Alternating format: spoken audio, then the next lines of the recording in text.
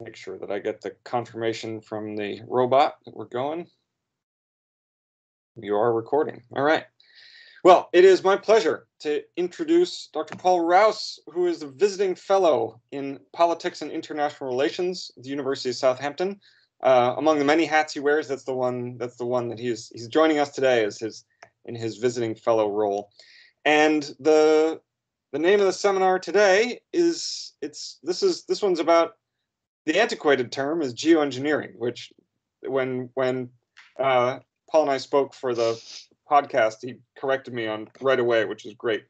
And um, and so, but we're we're really talking about um, the uh, the very complex issues of of deliberately intervening in in sort of the Earth's climate systems um, as a as a way to sort of counteract and address um, global climate warming in particular. So, uh, Paul, it's great to have you with us today, and thank you, thank you for joining us. And and away we go. That's great. Well, thanks very much um, for the invitation, Eli. It's very kind of you, and it's uh, I think it's a fascinating module um, that you're doing. Uh, geographies of risk is really interesting, and this this is kind of the biggest geography there is in the world. It's uh, it's about the entire planet. Um, I'm going to put up some put a slide show up. Um, hopefully you can see me as well, but I can't see you, so it's a bit slightly spooky, but there we go. So um, yeah, my name is Paul Rouse. I'm um, I'm speaking as a visiting fellow at Politics and International Relations at Southampton University. Um, my day job, my um, my my kind of working life, I work for an organisation called the Carnegie Climate Governance Initiative. C2G, which is uh, an initiative of the Carnegie Council for Ethics and International Affairs, which is based in New York City. Um, we're not our, our body is a, a, a distributed organization 11 of us in four continents i think it is the purpose of c2g is to try and um, catalyze the governance of what we call climate altering technologies geoengineering other people call them i to be absolutely clear. Today, I'm not speaking on their behalf. This is entirely my views. Um, I'm not representing them, anything that they think or don't think about this agenda at all. Um, this is simply me. And I say that because it's important. It's a contentious um, space. A lot of people um, uh, extremely concerned about this um, and about the risks associated with it. And it's that that I'm going to talk about. So I'll say a few words about why we might need geoengineering, and I, will use geoengineering. Why not? People know what it means. Um, I'm really talking about solar engineering and a specific type. I'll talk about why you might use it and how it might work, and then explore some of the risks and benefits, the politics of the governance challenges, and what's going on with research um, and the contentions around the risks of research or the risks that don't exist of research, and then what might go forward. So firstly, where are we with the climate? Um, I won't say a great deal about this, people are, are aware, but the um, United Nations Environment Programme produces a report called the Emissions Gap Report every year, and it explores how we're getting on in relation to delivering 1.5 to 2 degrees, the agreement of the Paris um, Accords, uh, the goal of the Paris Agreement, I should say. And currently we're firmly on track to deliver a whopping three degrees. And we're absolutely nowhere near um, hitting the targets we need to hit. And this includes um, an account for COVID reductions of emissions, which was around about 7% globally, which is a tiny amount. So if we're going to ever reach 1.5 degrees, we're in a situation now where not only do we have to cut emissions dramatically and rapidly, but we also will have to remove carbon dioxide from the atmosphere as well at the same time, carbon dioxide removal. So when you hear people talking about we're going to go to net zero, what they mean is that we're going to go to a position where the emissions are balanced with removals to a state where a nation state or the world, and it has to be the world, uh, is emitting net no carbon dioxide. Now, this is an enormous challenge. The emissions reductions measures alone, which are critical, and none of what I say diminishes the need for those, um, they're huge. The removals rates that are required are quite staggering. So um, if you look at the, the IPCC um, report on 1.5 degrees, that described how do we get to 1.5 degrees. It has four or five scenarios in there, and those scenarios all show that you have to remove carbon dioxide, and somewhere between 100 billion and 1,000 billion tons need to be removed in the next 79 years um, if we're going to stay between uh, stay under 1.5 which is an enormous amount. Every time you hear this number, you think, oh, God, that's big. Um, it's almost impossible to describe how big it is. Uh, it's about 19 billion Titanics, the ship, not the film. Um, it's something like if you took the weight of double-decker buses, um, it's something like um, enough double-decker buses lined up back to back to go to the moon and back um, multiple times. It's a huge weight. And we have a problem because we need carbon dioxide removal, but there are no approaches currently available that are, are ready to operate at scale. So we do have an issue. How do you remove the carbon dioxide? I'm not going to go through this slide in detail because we don't have time. But it, uh, and I can share these slides um, afterwards. That's fine. I'll send them to Eli and you can look at them if you're interested. Just taking afforestation and reforestation, people talk of the need to plant billions of trees to help address climate change. Trees are great beautiful things, wonderful and lovely. We all love trees and we want to see more of them. Good. However, the idea that this is a nature-based solution is is nonsense. Um, it's a nature-based approach, and as part of a mixture of other activities, it will be very helpful.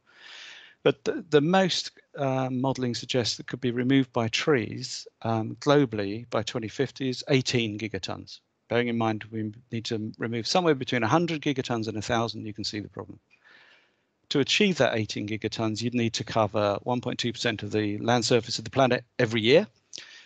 So by 2100, 96% of the Earth's surface is covered by trees. And that's slightly problematic because you want to grow food and have somewhere to live and have other activities. And it's also a millennial scale issue. The trees die. And when trees die, they release carbon dioxide, nitrous oxides, methanes, and so on. So it's a problem. And the same applies for different reasons around various different types of carbon dioxide removal. Uh, direct air capture ocean fertilization is one form of geoengineering that's discussed. BECCS, um, bioengineering carbon capture and removal, and so on. There are shortages and shortfalls if we use them all to their maximum capacity. So if you modeled this up, you get to a maximum theoretical capacity from the literature, and this is from a paper actually I, I produced last year, uh, takes you to 56 gigatons, just over 56 gigatons per annum by 2050. That's clearly going to be insufficient and it would have major impacts. And DACS would need four times the current global solar and wind power just to power it. Um, it's problematic. So that starts people thinking about what else might we do? And I'm going to be talking about one type of solar radiation modification solar radiation modification, or it's also called solar radiation management, um, which has interesting implications for um, how we think about it. It's managerial, it's a control system rather than a modification, and that has deep meanings for people around this issue, which is probably surprising, I think. It's also called solar engineering um, and geoengineering. Geoengineering is a catch-all phrase, but people generally apply it to solar radiation modification and not CDR. So the idea of this is very simple.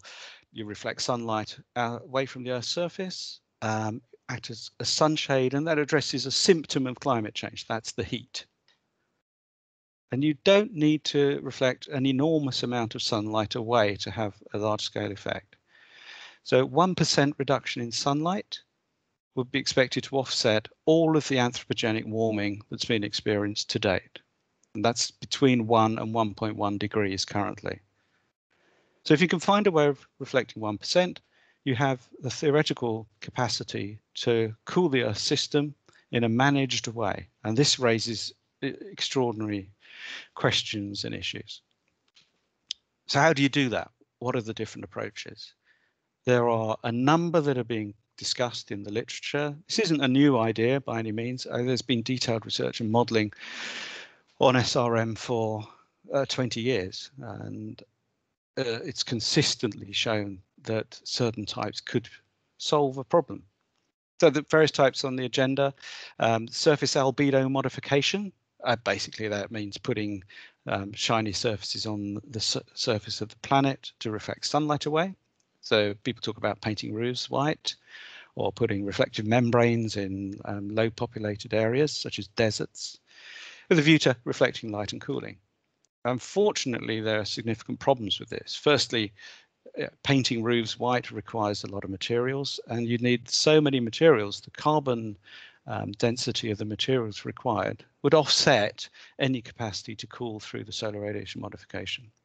If you to use membranes in desert, you have to manufacture them. These things would be very, very large um, and keep them clean. And you would need water resources. And they very quickly become very problematic. So very few people are now working on this.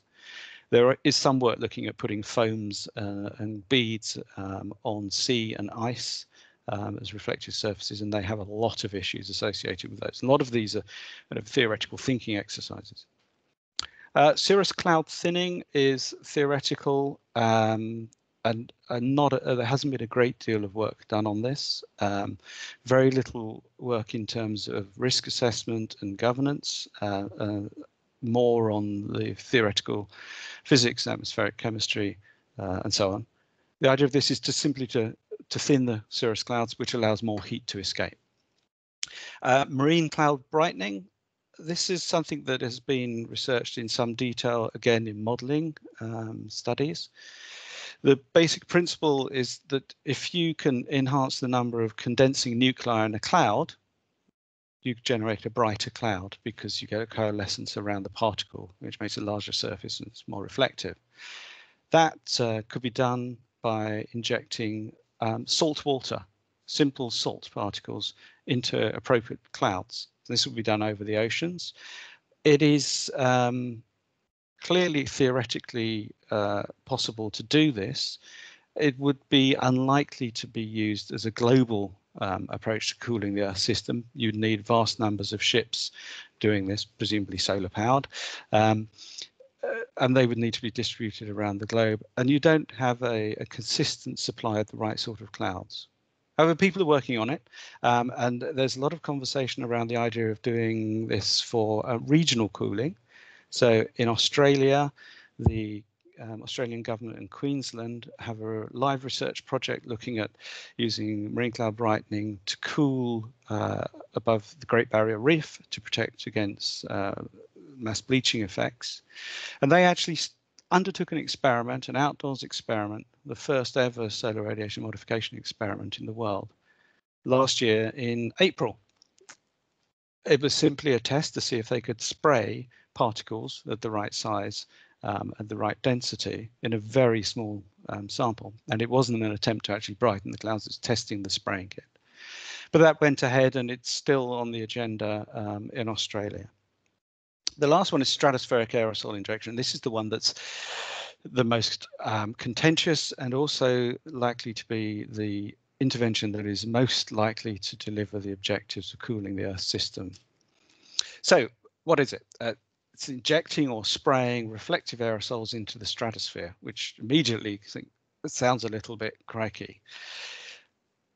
The idea is that you use um, smaller particles um, distributed broadly, and because of the way the stratosphere works, this is between around about 7 and 15 kilometers that the injection would take place, the aerosol would distribute evenly over the Earth's surface and cool globally and it would be able to cool very quickly. If you think of when you step under a shade in the summer on a hot day, you're cooled quite quickly.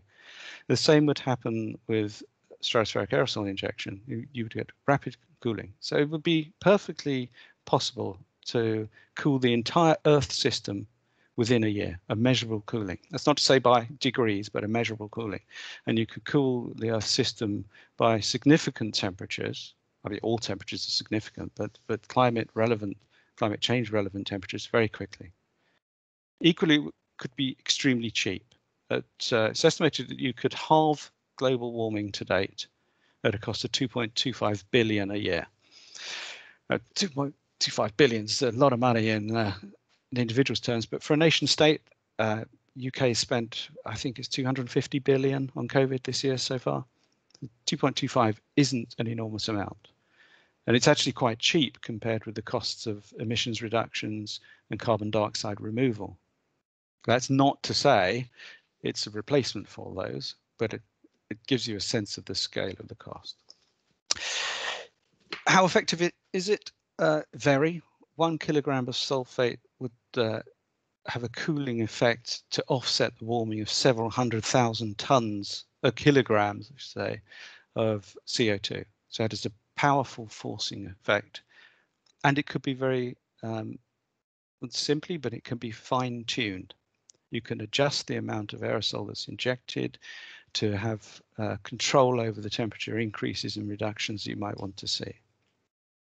How do we know this stuff might work? Well, there are natural examples of this. Volcanic eruptions um, cool the climate. We know this, it's been seen, it's modeled, it's an effect that has um, a, a, a, very kind of robust understanding in modeling.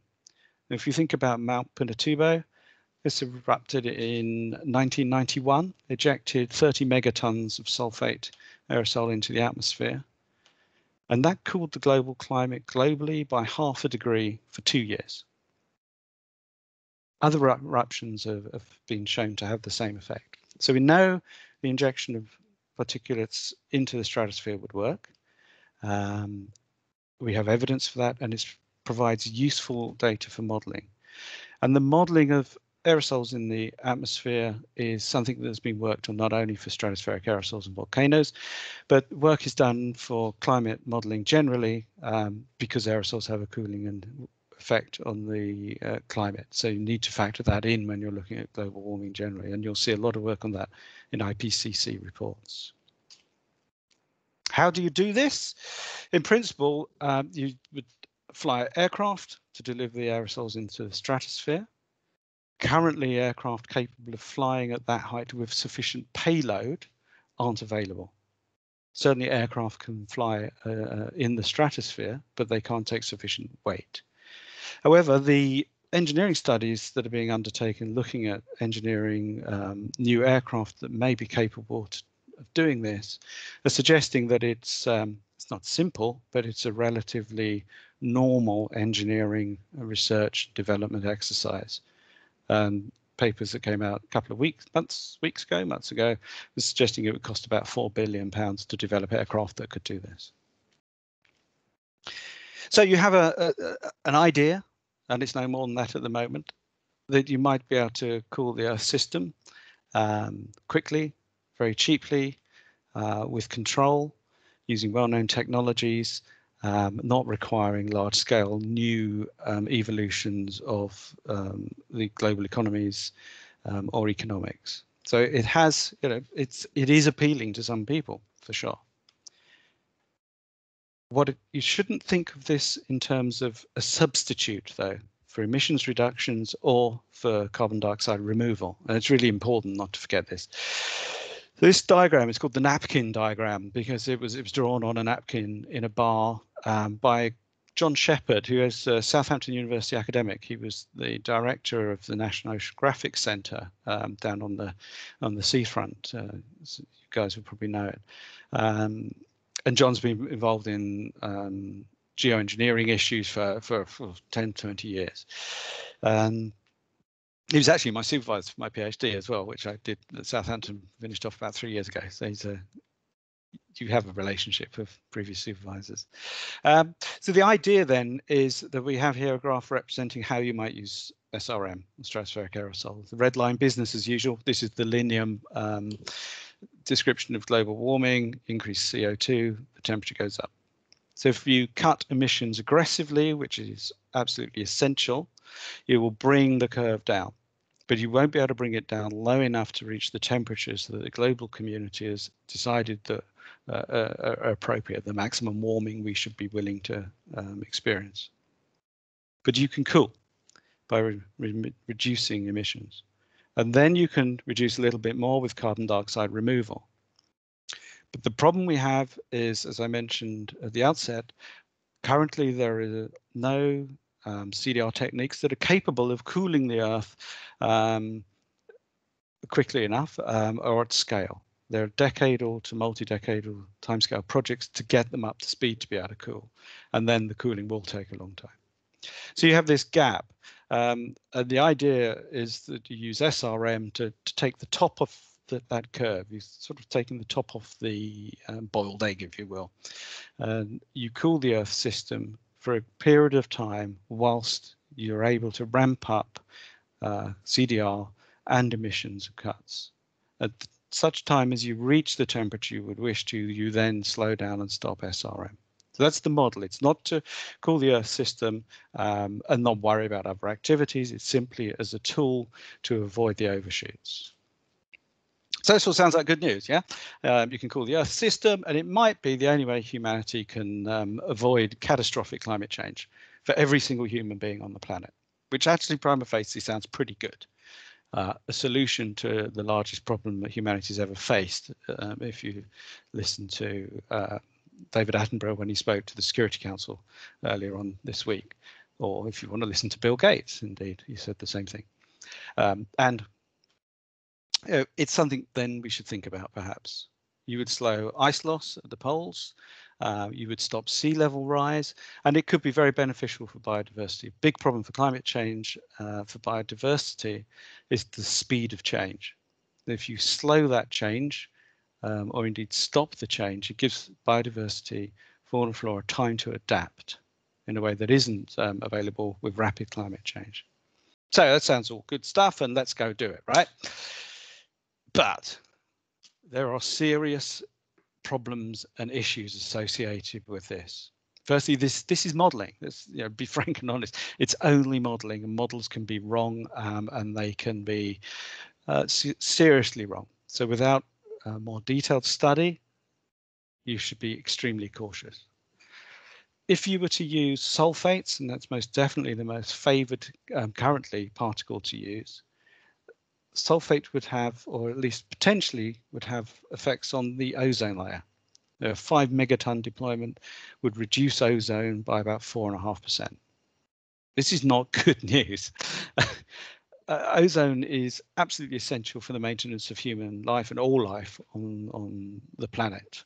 It cuts out um, ultraviolet. That is something that has to be taken extremely seriously. Um, some may suggest you can have a, a small amount of reduction. Montreal protocols delivering very, very well. Um, others would say this is completely bonkers. Of course, you shouldn't do this. Stratospheric aerosol injection could also affect precipitation.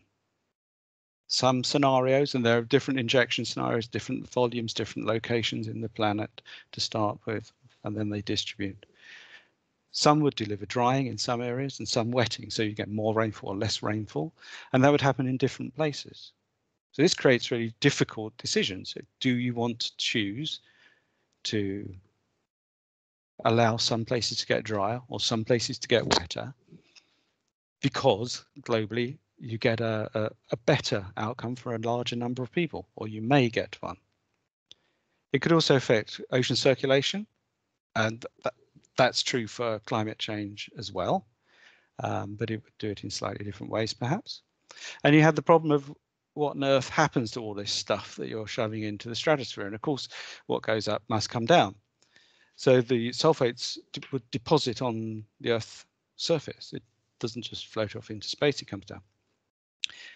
That isn't perhaps as large a problem and issue as it might appear, uh, because firstly, the volume is rather small. It isn't a vast amount in Earth system terms that's being put up there. And it's small in comparison with the um, uh, industrial pollution, the sulfates that we're already putting up. And importantly, when it falls out, um, industrial sulfate pollution falls out quite close by to where it's produced. It's in the troposphere and it falls out in three, four, five days. Um, stratospheric aerosols will remain lofted for periods of years, but they will fall out evenly across the entire Earth's surface.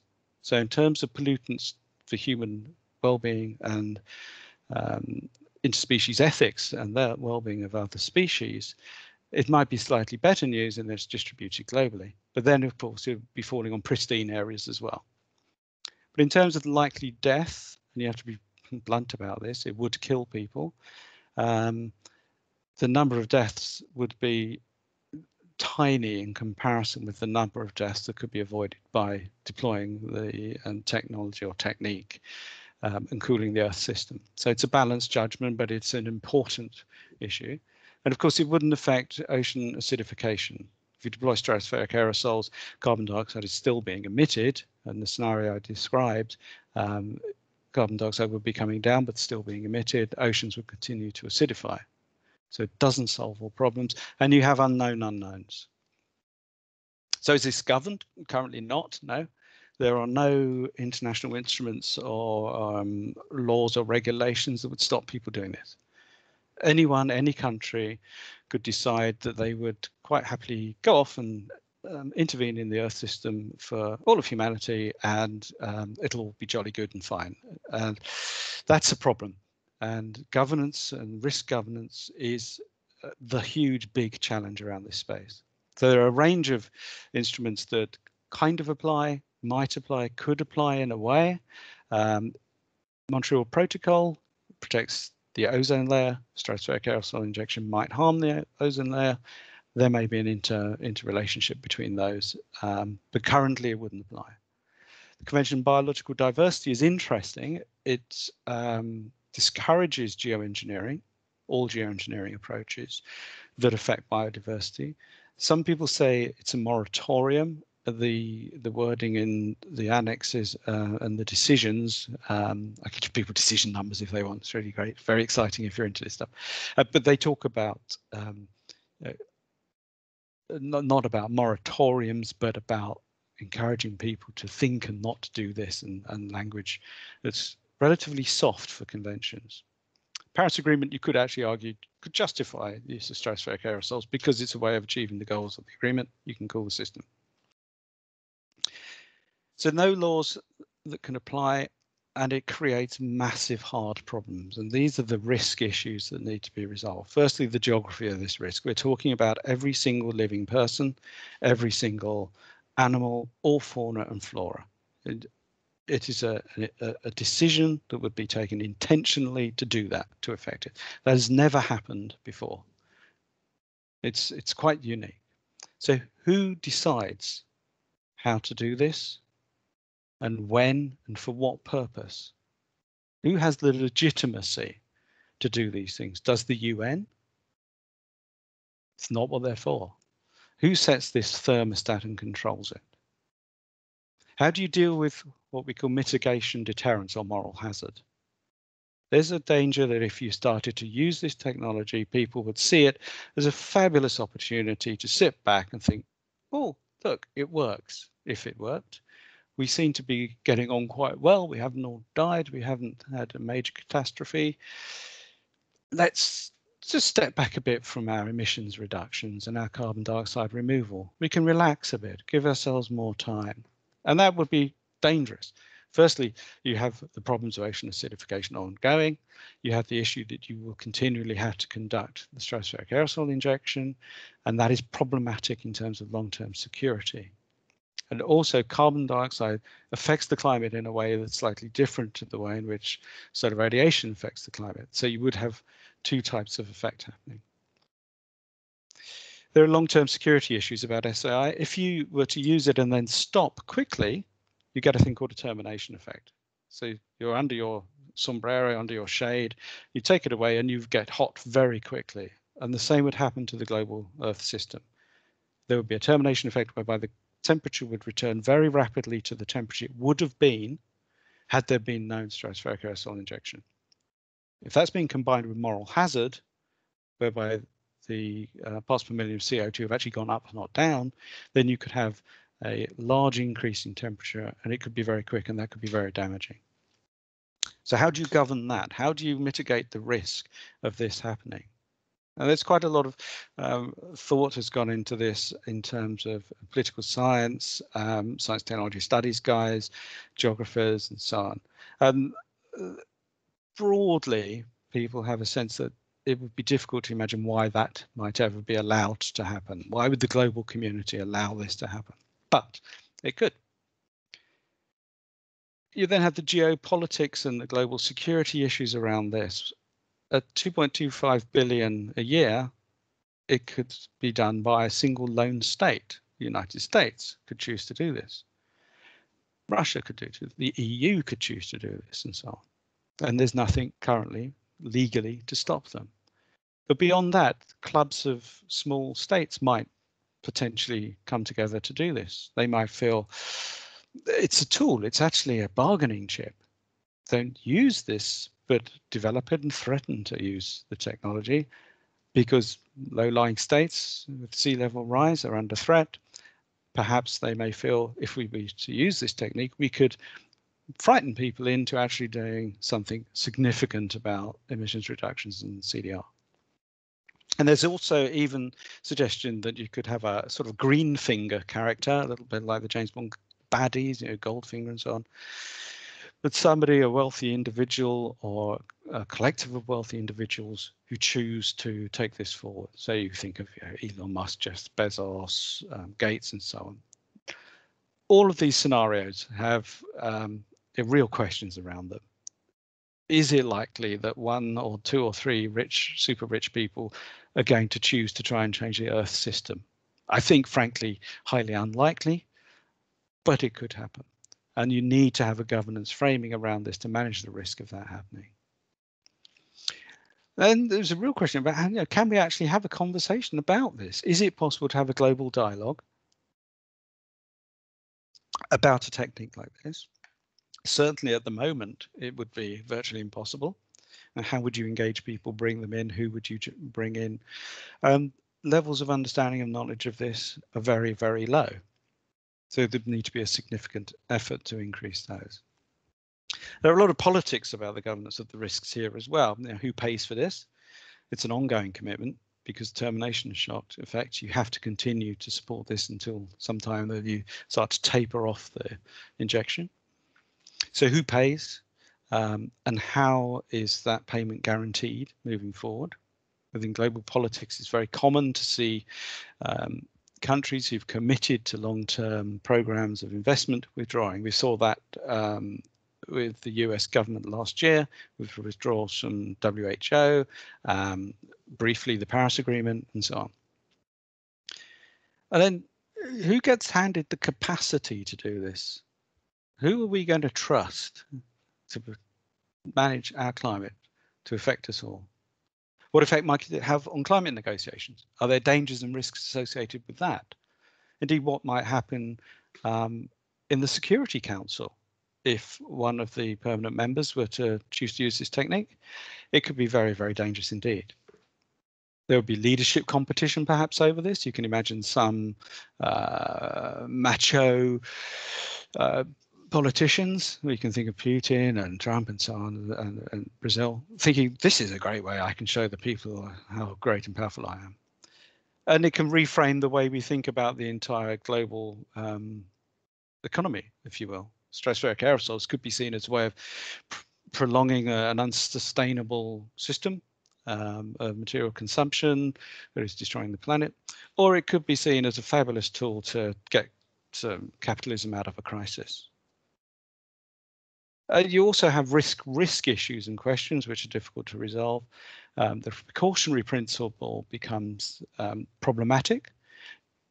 You have a risk of using stratospheric aerosols causing harm, and you have a risk of not addressing climate change and causing harm. And resolving those things is difficult. So there's a kind of flavour of some of the issues and, and concerns around this. I've talked a lot about evidence and the evidence and where the science is going. And this is really where at the moment the debate about the risks is at. And it's a very live conversation. It's been going on a long time, but um, day by day, this is um, heating up and it's becoming uh, interesting to well, sad people like me who get off on this stuff at least.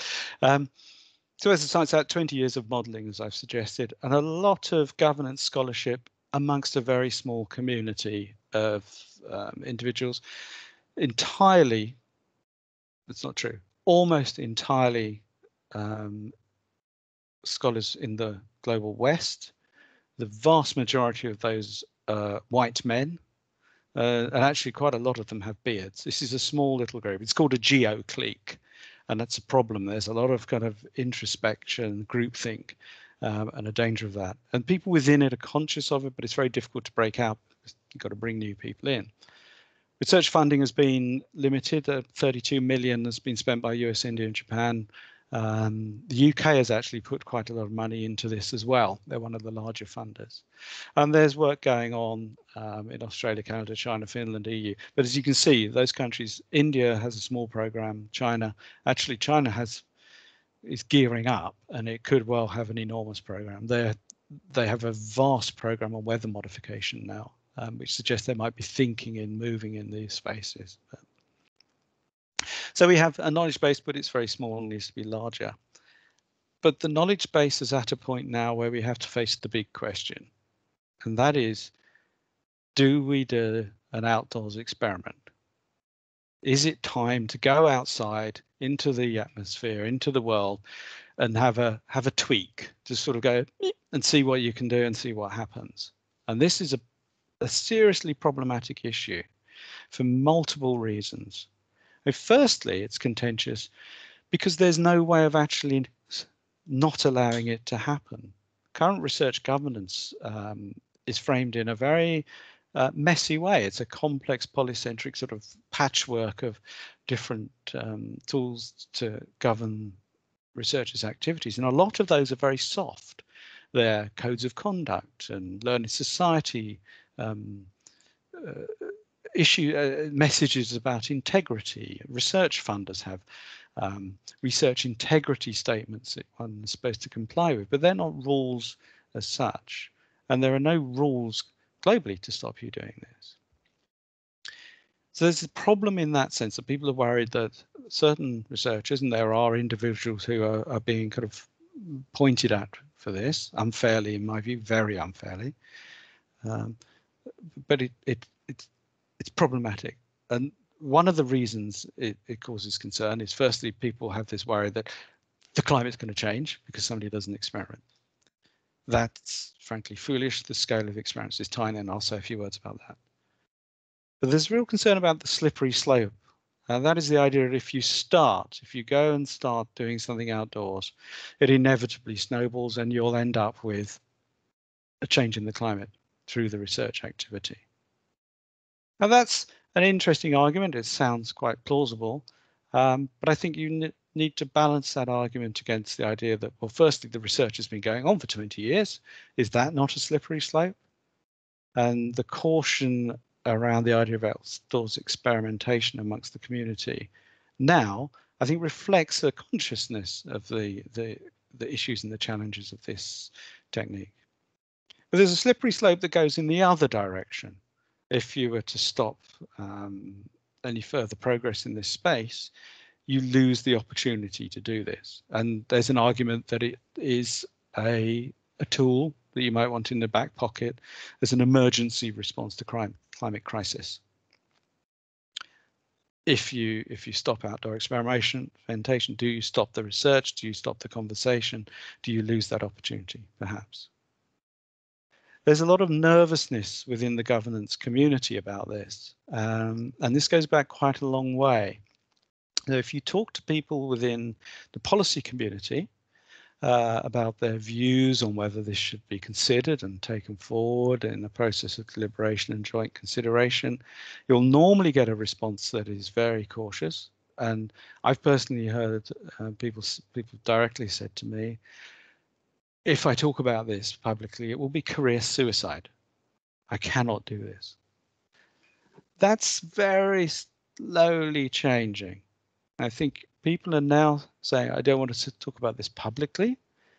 Our institution can't be seen to be talking about this publicly.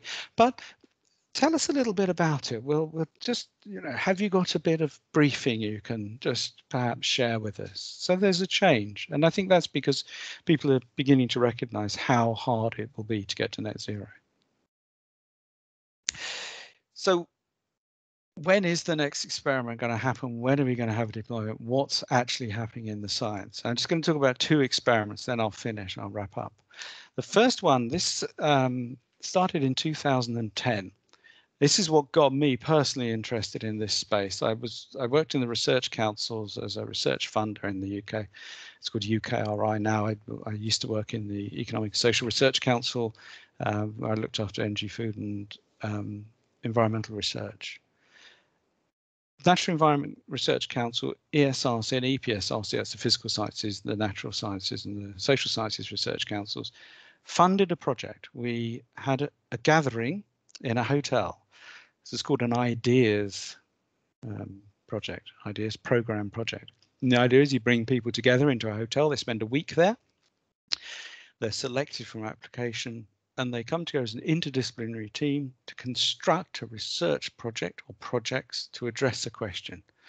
And the framing of this question was geoengineering. It used the G word, which is this word that we try not to use because it has such extraordinary responses.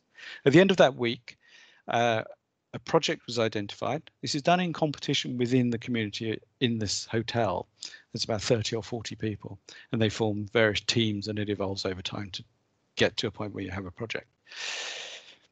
They decided to do this project, it was funded, and it comprised three elements, some modelling, some public engagement study to ask people, what do you think about the ideas of doing this, and a test bed.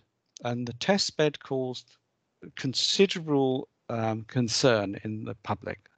The test bed was described as a geoengineering project.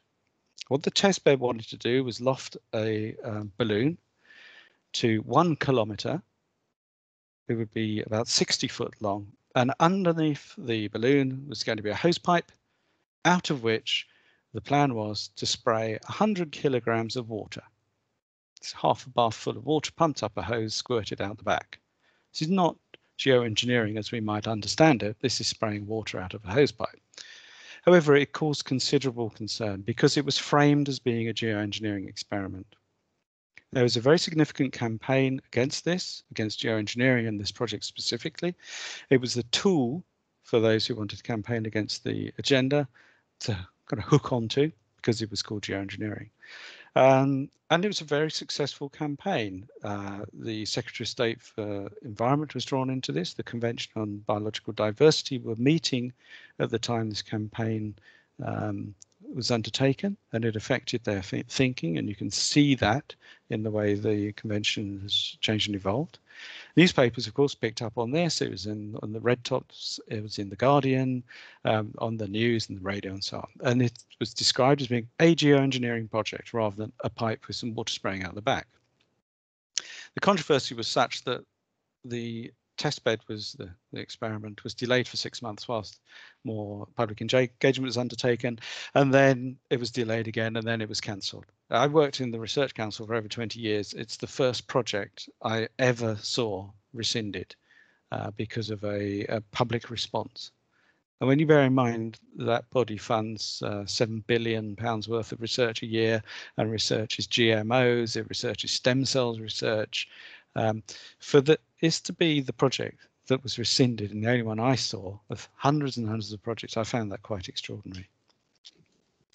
That rumbled on that debate and it it is the sort of touchstone uh, conversation point regularly in this space.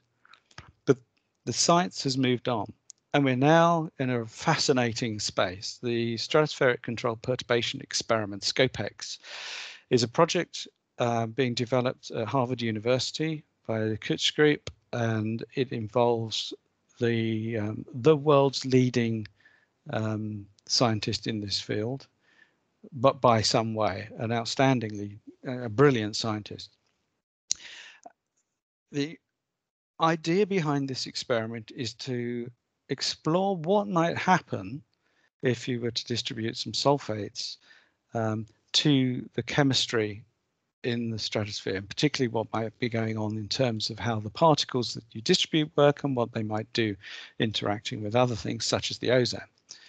The idea of the project is to take a balloon that's steerable, go up to the stratosphere, to fly this along and distribute a very small amount of material, initially calcium carbonate, which is chalk, um, and then possibly sulfates, one kilogram to five kilograms is the, the volume that's being discussed, I believe. Having sprayed this, the gondola would be flown back through the plume to undertake measurements. So it has uh, instruments underneath the gondola suspended from a balloon. When you bear in mind the average commercial aircraft, thousands of which are in the air at any one time, produce one kilogram of sulfur a minute, spraying five kilograms of sulfur isn't uh, an enormous contribution to the, um, the atmospheric load of sulfur. However, it is highly contentious. A um, advisory group, independent advisory group, has been set up to manage the governance of this, and that body immediately came under attack because, firstly, because it was uh, solely comprised of American citizens, which uh, at least uh, uh, people working and living in the United States. That was expanded sensibly. This is a global um, agenda. It needs to be globally inclusive. The chair of that body um, stood down because of pressures that were applied to them um, for various reasons. And we're now at a situation after several years of talking about whether this might take place. It's been suggested that uh, experiment will take place in June in Kiruna in Sweden in the Northern Arctic. The plan of the experiment is to loft the balloon, take it up and see if it can be steered and then come back down. There's no intention to use the instruments and certainly no intention to deploy or spray anything. It's simply a flight test. The decision as to whether this should happen or not was due to be taken by the advisory committee on the 16th of February and we haven't heard anything. There's been no news. Um, there are the same kind of game playing is going on that happened around Spice. Um, similar points of view from various parties, both those pro and those against, and it's uh, it's almost as if it's just gone round in Groundhog Day. I find this extraordinary. The, the risk of this experiment, the danger that arises from it, is that the balloon crashes and hits someone on the head. That's basically all that could go wrong, as far as I can understand and yet it is causing global concern. Last year, scientists launched over 300 stratospheric balloons. So this isn't you know, especially different, but it's causing crisis. So there we are. That's what I was going to talk about, really. What do we do? Where are we going to go? Uh, do we play God or are we going to stand back? Is the risk worth it to potentially solve the challenge of climate change? Or is it too frightening? What do we do? This is, in my view, the first test of the Anthropocene. It's the first time in recognition of our global control of Earth system that we need to make a decision of what to do. Personally, my view now is we have to have a dialogue. It's got to be inclusive. We need education. We need learning. But I now believe, and I've come to this in the last few weeks, that the SCOPEX experiment should go ahead. Certainly the one that's proposed, because it will give us a platform to discuss and currently that's not there and it will for sure open up the whole debate globally. So there's some references here the references for the material that appeared in the slides but also some reading. I can recommend to you while i'm not talking on c2g's behalf we've got a lot of information about this a lot of evidence briefs and policy briefs both about carbon dioxide removal and solar radiation modification, and a lot of webinars with um, lectures and materials, uh, campfire chat conversations. There's 40 or so of those online as well. And you can find that at c2g.net or just Google C2G environment, you'll find it. So there we are. I'll finish there. My contacts are available. I'd love to talk to people. Email me if you'd like to, phone me, whatever. Um, because I'm a bit of a nerd and I like it. I'll with that hand back, if I can work out how to do it, to Eli. Thanks so much. That was fantastic. And I I wish I wish we had more time for questions. People are going to have to move on for teaching responsibilities at one, I'm afraid. But it was just it's a uh, it's it's great to see it it laid out as you lay it out. And um and I I do encourage people, you know, who've watched it live and and people who may watch it in recorded form um to take you up on your offer to to get in touch. Um, but this is thank you so much for your contribution this afternoon. And I'm sorry, I went on a bit again. I just seen the time. I just realised. right, it's all right. I think apologies to the audience. I unfortunately, you know, hope not to disappoint anyone, but if people have questions, they can. I'll encourage them to get in touch. And um, but otherwise, this will on we go. That's great. Thanks, Eli. I've enjoyed it. It's good fun. Thanks so much. Good. Appreciate it. Much goes well. Okay. Cheers. Bye. Thanks for that. Thank you, Paul. No, no, no problem at all. Yeah.